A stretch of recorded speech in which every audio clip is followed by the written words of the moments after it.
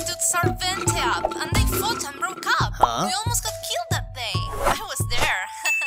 but don't worry, they got back together, obviously. What?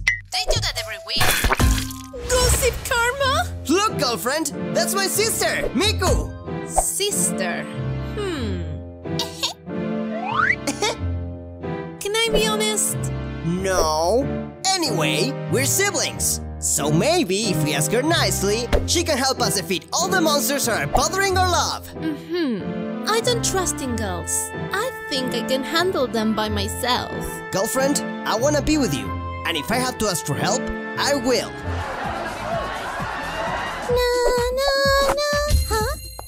A package from Japan?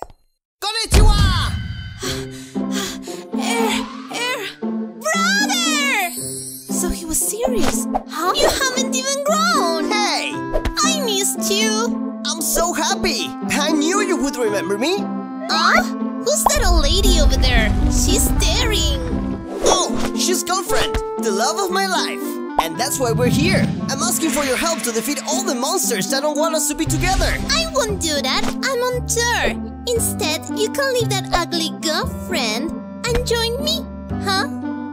What are you saying? I won't be disrespected like that. I love girlfriend even more than music. Alright then, you leave me no choice. Where? Huh? You'll regret what you said.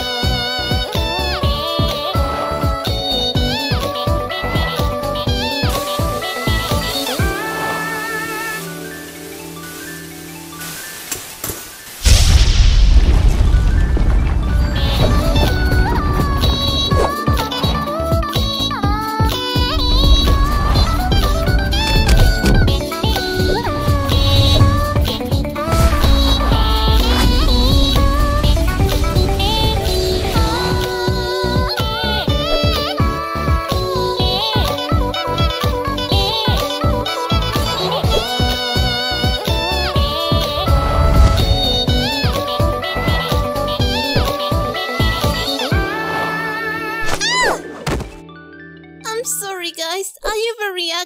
Don't say that. I'm happy to have sang with you. Little punk. you two weirdos get along really well. We can all go on a tour while defeating the monsters, right?